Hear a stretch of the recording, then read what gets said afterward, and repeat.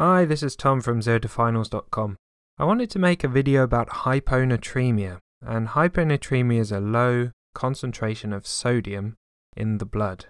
And just remember, sodium in Latin is natrium, which is why we call it natremia.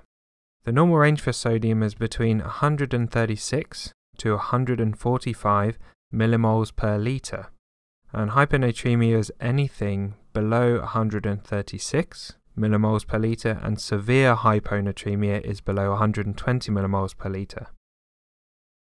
Symptoms can vary from completely asymptomatic to a bit of lethargy, headaches, some dizziness, and as it gets more severe, you can develop postural hypotension, which is where you stand up and your blood pressure drops, ataxia, which is changes in balance and coordination, and even more severe changes like confusion, psychosis, seizures, and even comas. Firstly, we need to go through some basic physiology to get a understanding of how sodium is regulated and why it's important. The first thing to talk about is a concept called osmolality and osmolarity. And osmolality is technically the number of osmoles of a solute in a kilogram of solvent. And osmolarity is the number of osmoles of a solute in a litre of solution. So this is a very subtle technical difference, but it doesn't really matter in everyday practice. When we talk about plasma osmolality or osmolarity, we're basically talking about the concentration of solutes, which are dissolved substances, in the blood. The formula for calculating osmolarity is this 2 times sodium plus glucose plus urea, all measured in millimoles per litre. And osmolarity is important because it controls the distribution of fluid in the body. Think of the fluid spaces in the body. You have the fluid inside the cells. This is called the intracellular compartment. Next, you have the fluid outside the cells. This is called the extracellular compartment. And the extracellular compartment can be broken down into the interstitial compartment, which is the fluid that sits around the cells, and the intravascular compartment, which is the fluid inside the blood vessels. Water is free to move between these different compartments and it moves in a process called osmosis. And this is where water molecules move from a place of low osmolality, a low concentration of solutes, to a place of high osmolality, a place of high concentration of solutes. For example, if there's more sodium in the blood, water will move out of the cells and the interstitial fluid and flow into the blood. And if there's a lot of sodium in the cell, the water will flow out of the blood and the interstitial fluid and into the cells. And this way, the water movement balances out the osmolarity across the different spaces. Therefore, we know that if we measure the osmolarity of blood plasma, this is going to be roughly equal to the osmolality of the cells. Next, let's look at the causes of hyponatremia. And in order to work these out, we need to understand what controls the concentration of sodium in the blood. There's four ways that sodium concentration can drop. If there's more water coming in, less water going out, less sodium coming in, or more sodium going out. And they're really the four ways that sodium levels can drop. So if you imagine this container contains a fixed amount of sodium, the sodium concentration can be altered by the water going in. If you add water to it, then the sodium becomes more dilute, and as a result, you develop a hyponatremia, and we call this dilutional hyponatremia. This can be achieved by drinking more water, and we call this water intoxication when too much water dilutes the blood and causes a dilutional hyponatremia. Another way to add water to it is by increasing the reabsorption of water in the kidneys. If you remember, a hormone called antidiuretic hormone from the posterior pituitary gland acts on the collecting ducts in the kidneys to increase water reabsorption from the urine back into the blood. Therefore, if you add more antidiuretic hormone, more water is reabsorbed into the blood and the sodium concentration will become more dilute again. Usually, antidiuretic hormone is carefully controlled to balance the amount of water in the blood so that the person doesn't become too dehydrated or overhydrated and develops a hyponatremia. However, in a condition called syndrome of inappropriate antidiuretic hormone, or SIADH, too much ADH is released and too much water is reabsorbed in the kidneys and the concentration of sodium drops. The other way that the concentration of sodium can be altered is by how much sodium is in the body. Imagine the container contains a fixed amount of water. Inadequate sodium intake over time can cause hyponatremia. However, the body only really requires 1 millimole per kilo per day of sodium under normal conditions, which is relatively easy to achieve with a normal diet. For example, a 1 litre bag of saline contains 150 millimoles of sodium, which is more than enough for most adults. More commonly, excessive sodium loss is the cause of hyponatremia. And sodium can be lost through the kidneys, or it can be lost through other areas such as sweating, vomiting, diarrhea, or burns. It's quite straightforward to understand how sodium is lost through excessive sweating or excessive vomiting, diarrhea, etc.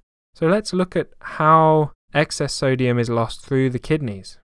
There are two main ways that sodium is lost through the kidneys. Firstly, it can be a shortage of steroid hormones, and secondly, it can be through the use of medications such as diuretics. Now, if you remember your physiology, steroid hormones such as aldosterone and to a lesser extent cortisol cause sodium reabsorption and potassium excretion in the kidneys.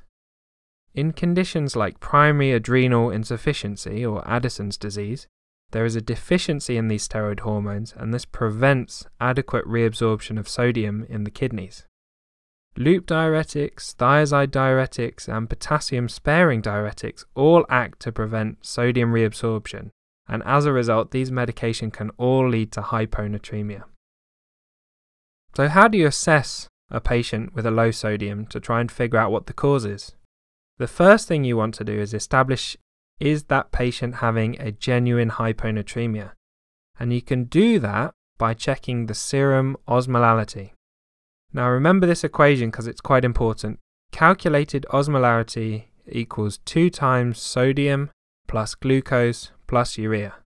If the patient has a low sodium and their serum osmolality is low, you know this is a genuine hyponatremia. The low sodium is causing a low osmolality. If the patient has a low sodium but their osmolality is normal, we can call this a pseudo hyponatremia. And this is where a high level of lipids, such as in hyperlipidemia, or proteins, such as in myeloma, take up a higher proportion of the blood volume and make the blood analyzer think that there's a low sodium when in fact, if you separate the lipids or proteins away from the plasma, the sodium concentration would be normal. If the patient has a low sodium but a high osmolality, this is usually caused by a very high level of glucose in a condition called hyperosmolar hyperglycemic state, or HHS, which occurs in type 2 diabetics. The blood level of sugar goes up very high, for example, over 40 millimoles per litre and above. Glucose leaking into the urine causes water and sodium to follow. This results in a dehydration and further concentrates the amount of glucose in the blood. Having a high glucose level in this equation leads to a high osmolality, but the sodium might be normal or low. So let's say you check the serum osmolality and it's low, suggesting a genuine hyponatremia. The next thing you want to check is the person's fluid status. This involves checking whether they are dehydrated, euvolemic or normally hydrated, or edematous. A dehydrated patient with hyponatremia will have an inadequate amount of sodium, this is either through inadequate intake or more likely through excessive sodium loss. A euvolemic patient or normally hydrated patient will have an excessive amount of water diluting the sodium in the blood and causing a dilutional hyponatremia. This excessive water comes from either an increased intake through drinking or a reduced loss through the kidneys. An edematous patient is likely to have congestive cardiac failure or hypoalbuminemia secondary to a liver disease or a nephrotic syndrome. So once you've checked the person's fluid status, the next thing is to look at the urine sodium or urine osmolality. This simply tells you whether the patient's cause of the hyponatremia is in the kidneys or is somewhere else. If the urine sodium or urine osmolality is high, you know the problem's in the kidneys. If the urine sodium or urine osmolality is low or normal, you know the problem is somewhere else, because the urine osmolality is reflecting the osmolality of the blood, which means the kidneys are working normally. So let's run through the possible outcomes that you might have when a patient has hyponatremia. Let's say you assess them and they're dehydrated. As a result, you know they've lost sodium from somewhere. So you check the urine sodium and the urine osmolality. If these are high, because there's lots of sodium in the urine, you know that the person has lost sodium from the kidneys. So the possible causes are likely to include diuretics or adrenal insufficiency. If these are low, you know that the sodium is being lost from somewhere else, for example, sweating, diarrhea, vomiting, or burns. Now let's say you assess them and they're euvolemic. As a result, you know that there is a dilutional hyponatremia, meaning excessive water has been gained. You check the urine sodium and the urine osmolality. If this is high, you know that the urine is being concentrated by excessive reabsorption of water in the kidneys. Therefore, the patient has a syndrome of inappropriate ADH or SIADH. If this is low, you know that the water is gained through excessive consumption which is called water intoxication. Finally, if the patient is edematous, then it's likely that they have congestive cardiac failure or hypoalbuminemia secondary to liver disease, nephrotic syndrome, or some inflammatory process. Conditions that cause edema or fluid moving into the interstitial space also cause a reduction in cardiac output. This causes a reduction in volume circulating to the brain and as a result, the hypothalamus releases ADH and causes more reabsorption from the kidneys and a subsequent dilutional hyponatremia. Mostly, the way to treat hyponatremia is to treat the underlying cause. If it's caused by diuretics, you stop the diuretics. If it's adrenal insufficiency, you give the patient steroids. Where the patient is dehydrated and sodium is lost, you simply replace with sodium and fluids and where it's due to water intoxication, you restrict the patient's intake until their sodium returns back to normal. A condition that I want to talk a bit more about is SIADH. There's a huge number of causes of SIADH. It's worth remembering a few that will come up in exams and being aware that there's loads of other causes. The ones to remember are small cell lung cancer, as the tumour produces and releases ADH itself, other chest conditions, such as atypical pneumonia, particularly Legionella pneumonia, brain damage affecting the hypothalamus, particularly due to meningitis or subarachnoid hemorrhage, and drugs such as carbamazepine and SSRIs. So, how do you treat SIADH? Well, the first thing is to restrict the patient's fluid intake. This helps to concentrate their blood. The next thing to do is, if possible, treat the underlying cause. So, if they have a pneumonia, you want to treat that pneumonia. Or if they're on SSRI medication, you, you might consider switching to a different medication. What they used to use is a antibiotic called demeclocycline, which happens to be an antagonist of ADH. But now that's been replaced by something called Vaptans. For example, tolvaptan. And what these do is they're competitive ADH receptor antagonists. So they bind to the ADH receptor and prevent the antidiuretic hormone from attaching to that receptor and activating it. So they basically block the action of ADH. And these medications are very powerful, so it's important to use them very carefully because they can cause a very quick rise in the serum sodium, which can be dangerous. The final thing is just to mention a condition called central pontine myelinolysis. And this is a disorder that affects the brain when sodium is corrected too quickly. What happens is the myelin sheath of the nerve cells in the brain becomes damaged by the quick change in sodium. The osmotic balance in that myelin sheath becomes disrupted and it causes demyelination of the nerve cells. This can lead to all kinds of problems, such as acute paralysis or problems with speech or swallowing.